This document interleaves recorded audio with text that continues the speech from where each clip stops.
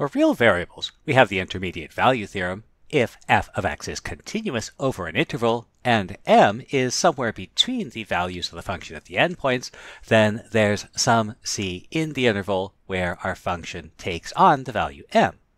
This is also known as the Goldilocks principle. Somewhere between too small and too big is just right. We can view the mean value theorem in another way. If f of x is continuous over an interval, it's impossible for it to avoid any value between the function values at the endpoints. Unfortunately, between is meaningless for complex numbers, but we have a stronger property for complex functions, so we might ask, what if f of z is analytic in some connected region R? Now, we'll introduce a useful simplification for the following, and in fact for much of what we're going to do after this point, we'll only need f of z to be analytic on and inside some circle. This allows us to introduce one generalization. The Cauchy integral formula requires f of z be analytic in a simply connected region R. But now consider z naught in R. By assumption, our function is analytic at z equal to z naught, so even if R is not simply connected, we can find a small circle around any point in R where f of z is analytic on and inside the circle.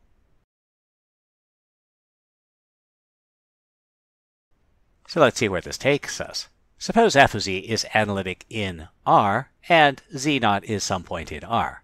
f of z will be analytic on and inside some sufficiently small circle centered at z naught.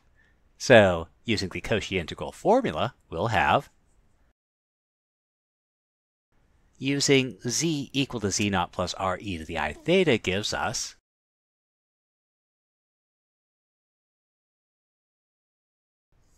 So here's another version where the value of an analytic function is going to be completely determined by its values along some closed curve.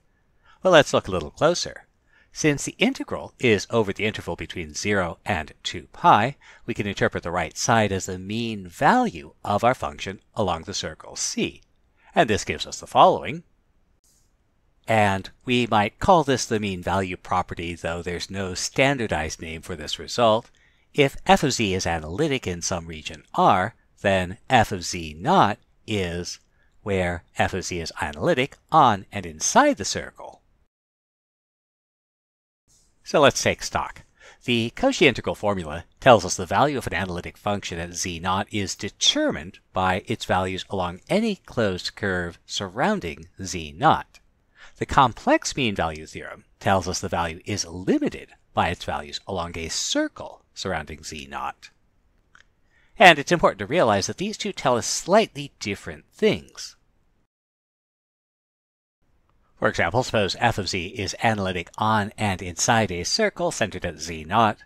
Moreover, suppose the value of f of z is real along our circle. What does the Cauchy integral formula tell you? And what does the complex mean value theorem tell you? So the Cauchy integral formula tells us the value of f of z naught.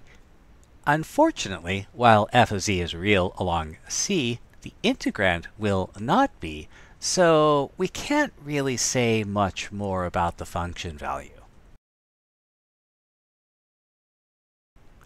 In contrast, the mean value theorem tells us, now, since the integrand is real, the integral will also be real, and that tells us the function value at z naught will also be real.